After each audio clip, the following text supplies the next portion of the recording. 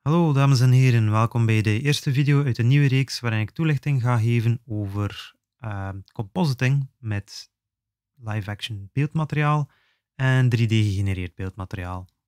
Om te beginnen hebben we natuurlijk live-action beeldmateriaal nodig. Dat heb ik hier. Ga ik eventjes in mijn project tab van After Effects slepen. En voilà. Uh, dan slepen we dat in mijn tijdslijn om het te zien of rechtermuisklik en nu come from selection.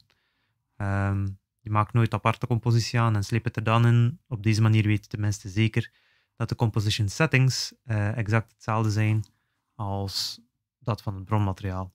Dit is ook uitzonderlijk uh, beeldmateriaal in 60 fps. Um, daar is er niets mis mee. Uh, zorg gewoon dat als je een andere framerate gebruikt dan 30 fps, dat je daar ook gewoon constant in, consistent in blijft.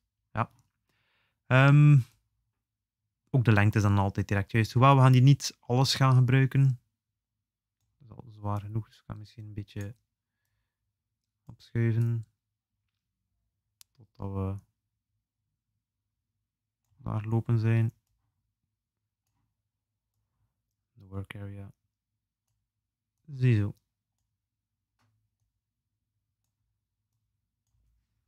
Maar waarschijnlijk wel eventjes duren om vlot af te spelen. Ja, want het is natuurlijk 60 fps. het wordt nu vertraagd afgespeeld, maar dat is eigenlijk geen probleem, want we zitten toch aan dubbele framerate, dus het zal er nog altijd relatief vloeiend uitzien.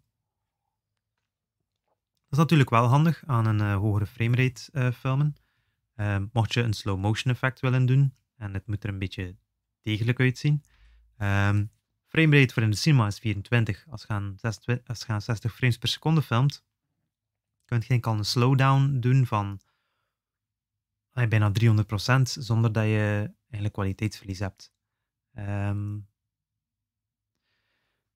tuurlijk, oh ja, bijna, nog niet helemaal. Uh, maar als je dan nog hoger kunt filmen, dan 100 fps en 200 fps, dan, kunt je, dan heb je nog mooiere en betere resultaten. Maar nu een keer kijken naar uh, het beeldmateriaal zelf. Ik zal dat anders bespreken terwijl we de 3D-camera tracker dit beeldmateriaal eens laten tracken. Dus ik ga hier naar de 3D-camera tracker. Of alternatief heb je tegenwoordig in uh, After Effects ook een aparte tracker tab. Dan kan je hier selecteren uh, track camera.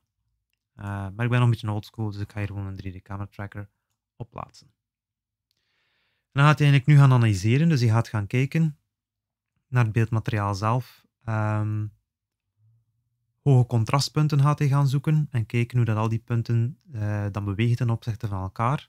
En op basis daarvan gaat hij proberen extrapoleren wat voor beweging een camera zou moeten gemaakt hebben om dit eindresultaat te gaan verkrijgen.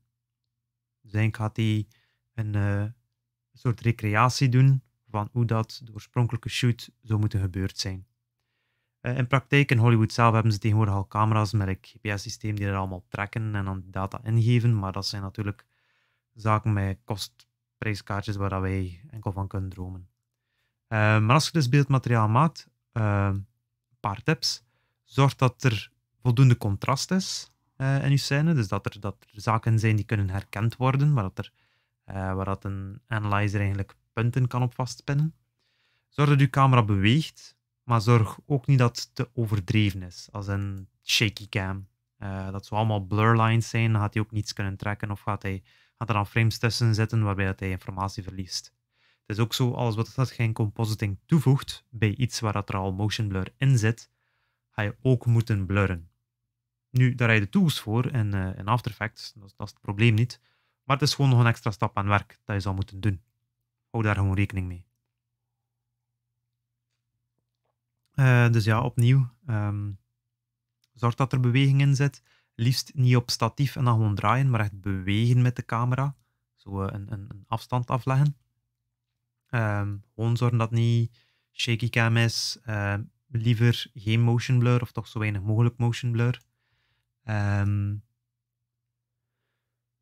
ik zou ook zeggen, denk aan de kwaliteit van uw camera, maar ik denk dat ik de gemiddelde smartphone al minimum Full HD kan filmen. Er zijn er al zoveel die, die in 4K kunnen filmen. soms tot 60 fps of 120 fps, dus ja, dat lijkt mij niet echt een probleem. Goed, dus hij heeft uh, de scène geanalyseerd, heeft hij nu allemaal puntjes geplaatst. Uh, voor leerlingen van 6TMV, als jullie VFTMV nog herinneren. Uh, we hebben daar al een keer een oefening rond gemaakt. Dus nu herkent eigenlijk zijn virtuele ruimte. Het eerste dat we natuurlijk moeten doen is eerst create camera. Zo, nu hebben we weer een camera staan. En nu zouden we eigenlijk de scène kunnen exporteren naar Cinema 4D en daar verder ons dingen doen. Maar het zou handig zijn om een paar punten te hebben ter referentie natuurlijk. Um, dus hier op de vloer, dan weer in het midden. Stel nu, ik loop hier rond en ik kijk zo echt naar iets dat zo gezegd in het midden van die scène zou moeten staan. Oké, dan zet ik hier zo, of selecteer ik hier zo drie puntjes. Daar, daar en daar. Rechtermuisklik, create solid. En dan heb ik al die referentie. Die solid die daar ligt, weet ik van kijk, die gaat mooi meebewegen met mijn scène. Oké, het is nu weer allemaal blurry, maar wat. Um, en als ik dat nu exporteer naar Cinema 4D, dan zal dat element daar ook staan. Hetzelfde van mocht ik iets met die muur willen doen, wederom, kan ik hier punten gaan selecteren.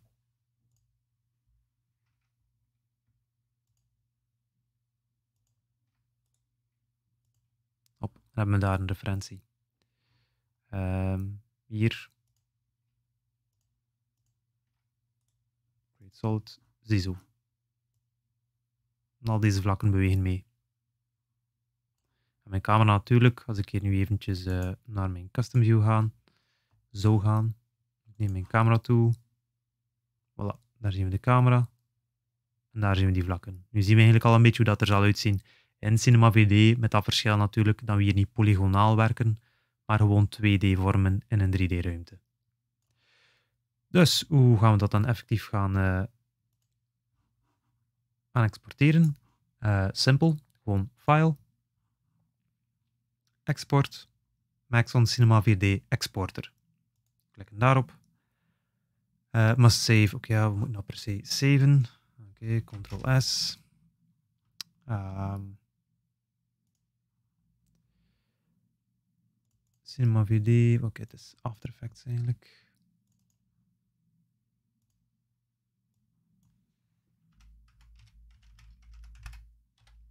Voilà.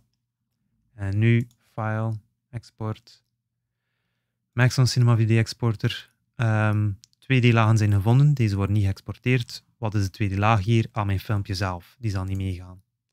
Oké, ik ga die opslaan. Ook bij mijn After Effects tests de naam geven. Tutorial.